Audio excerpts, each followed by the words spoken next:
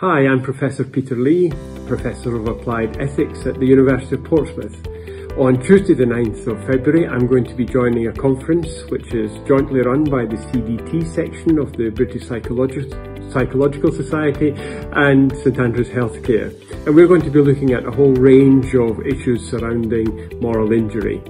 Uh, in, I'm going to be talking about research that I led over the last year uh, with colleagues from University of Portsmouth and Solent University, which explored moral injury in police online child sex crime investigators and in military drone operators. I hope you'll be able to join us there. Thank you.